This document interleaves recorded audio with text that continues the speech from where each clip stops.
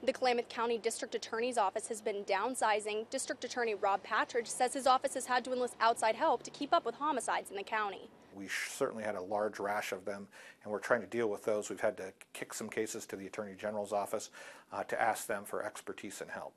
Patridge says the economic strain on the county is a likely factor behind the crime. The economy and the stress in the economy here has a great deal to do with it, as well as uh, uh, high drug use um, that's going on here in the area. We're trying to tackle those things on a regular basis, and I think having our jail open here has also put more pressure into the system related to criminals. The DA added a new attorney this year. Patridge says years ago his office had 11 district attorneys. Now they're down to seven, and the new attorneys don't have the experience for homicides. We have very, very hardworking people, um, but we also have a lot of new deputy district attorneys on board.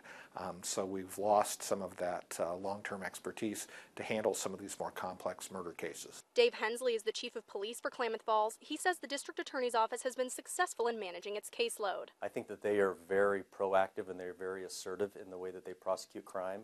Um, and they have a can do attitude. And, and yeah, they're short, but they make up for it with a lot of positive attitude and a lot of positive energy.